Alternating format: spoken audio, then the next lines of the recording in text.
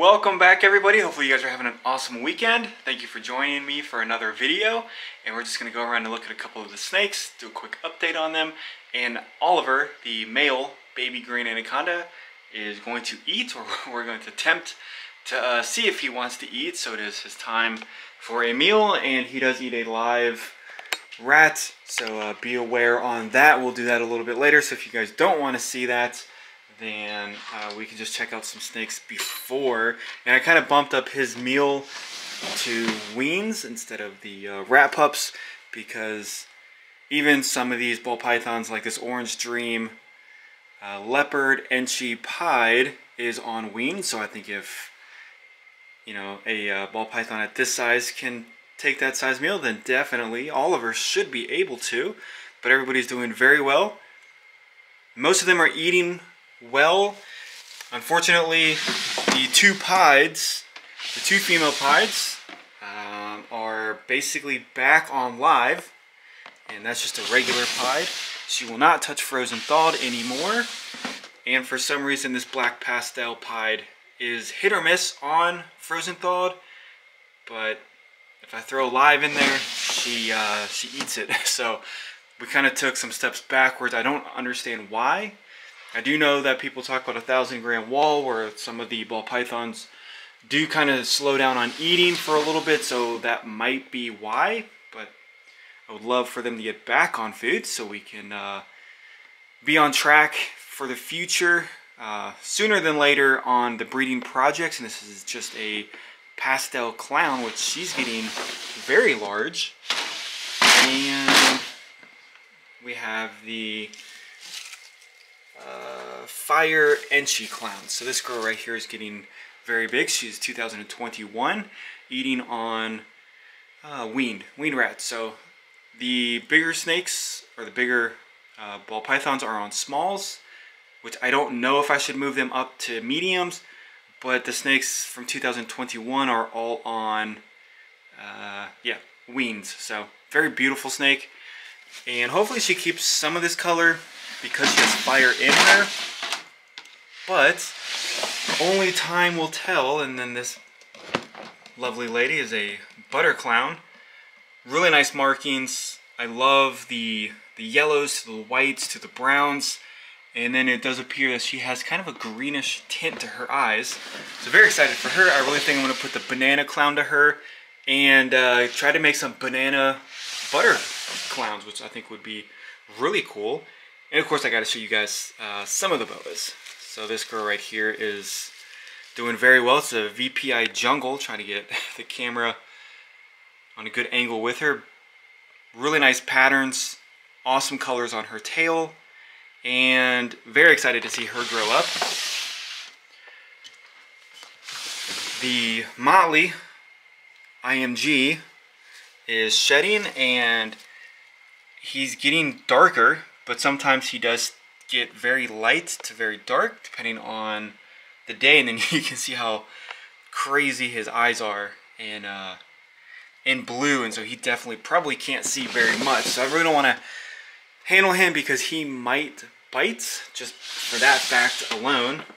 And I think this girl went into shed a couple of days ago because of her colorations are um, they were like her belly was a little creamy and it really wasn't the there now it looks better so I think she is going to shed out a little bit because you can see how how white and black the belly is before it was kind of a nice cream color. I didn't notice her eyes go uh, that into shed but I don't, I don't know the correct terminology for that but beautiful snake, VPI IMG female, 2021, so she's definitely a big snake. And she's kind of on weaned as well, so definitely feeding her a little bit larger than a lot of my 2021 just because of how much she is growing. And we'll see what the future holds for her. Not really, uh, you know, it does make me nervous to try to breed boas, but we'll do the ball python stuff first, and then we'll get into the the boas in the future. So the Moonglow is doing very well, growing nicely, 2020. So you can see the size difference between her and the 2021 over there, but uh, she is on weaned as well, or rat pups, whichever. But just a very, very calm, beautiful snake. And the patterns look nice on her. And then we'll check out the Guyana, the true red tail. This girl is definitely growing. She is now on weans as well. I might possibly try smalls with her. We'll see what happens. But she's definitely grown a lot over the last couple of months, which is very exciting. Beautiful blood red tail with the very nice bright whites. And we do not want her to go onto another level and in between the tubs because it does take them a while to get them out if that happens. So we're probably gonna have to uh, probably gonna have to use two hands on her. Okay, so we got the Guyana back in her cage, and yes, Oliver's still on paper. Um, I ReptiChip has been out of stock for a while, and I really don't like Aspen in high humidity cages because it just gets really wet and it's just super gross. So see, uh, he is on paper. So um, it's cheaper, it's easier to maintain, and the water, I normally take the water out because of when this happens, they kind of like to hide. So Oliver's doing well. He still likes to uh, bite, but I can at least handle him for a certain period of time. I mean, it, it's random. We'll be hanging out for a little bit, taking pictures, putting them on Instagram, and then all of a sudden he just bites me like five, six, seven, eight times in a row. And then I guess that means it's uh, playtime is over. So, still working on him. A lot of anacondas, like my two other ones, are phenomenal. I can hold them for as long as I want to, whenever I want to, and they don't give me any issues. So, you win some, you lose some. Some anacondas can be extremely unpredictable, and Oliver is one of them. So, you can see how dark he is compared to the other ones, or a or most anacondas. So, very olivey green, which is kind of the hint of the name. A lot of browns, beautiful markings on him though. I like the anacondas with a lot of pattern.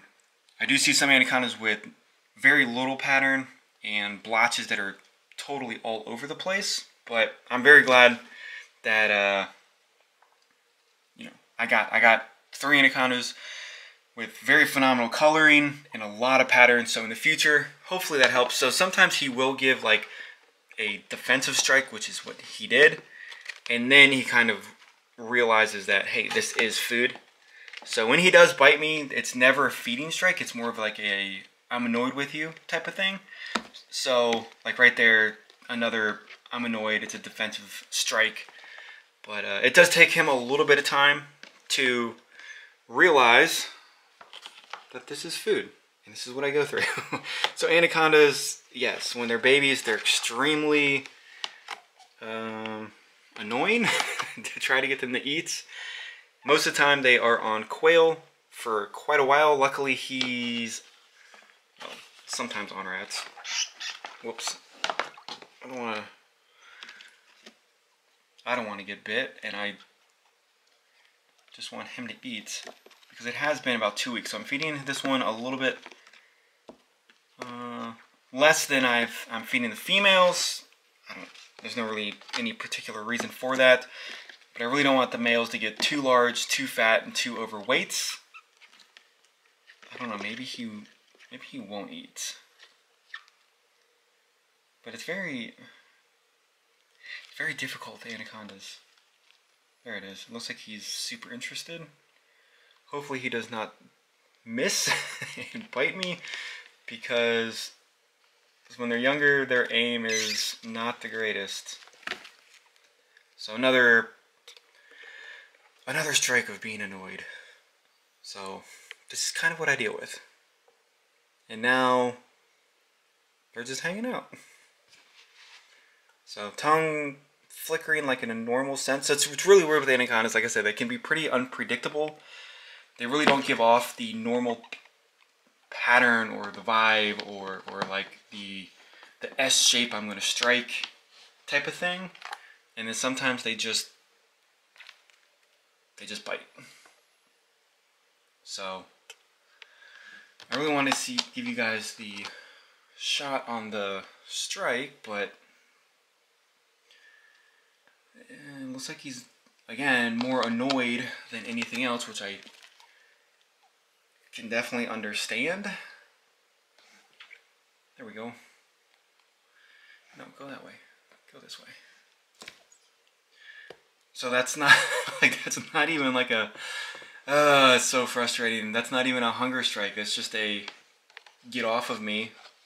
But he needs to eat and I don't want to leave this mouse in here with him because we all know or this rat because rats can do a lot of damage to snakes and they can definitely hurt them. So let's see what's about to happen. Nothing. so if you own an anaconda, this is basically what you get as babies. When they do get older, they get much better, I promise. Uh, you guys have seen Pop-Tart and Mountain Dew eating, but again, this is like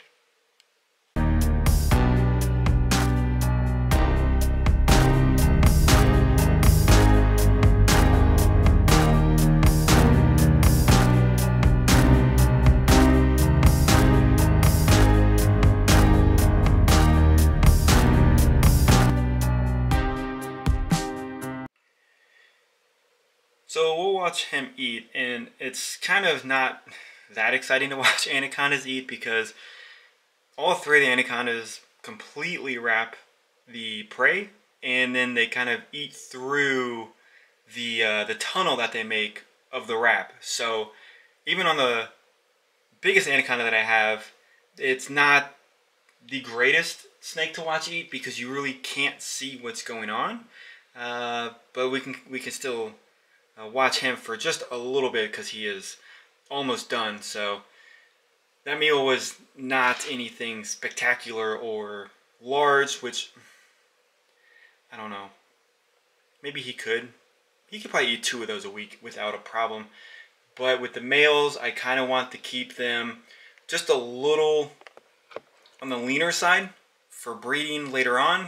Uh, I've heard when males get too overweight, too fat, too plump. Uh, they kind of lose the sex drive, so they really, um, they really don't want to breed if they're just a ball of goo. So trying to keep him lean and uh, I guess lean and mean because sometimes he does like to bite, like I said, but he's eating very well, very excited. Um, he's December born, 2021. December, I think. December, December or January, so only a couple months old. And on rats, which is exciting. He's going to finish that up. Hopefully you guys have an awesome day. Thank you again for the support. I really do appreciate that. And uh, I should have another video out for you guys possibly later today and most definitely tomorrow. So stick around for that. And I'll see you guys on the next video.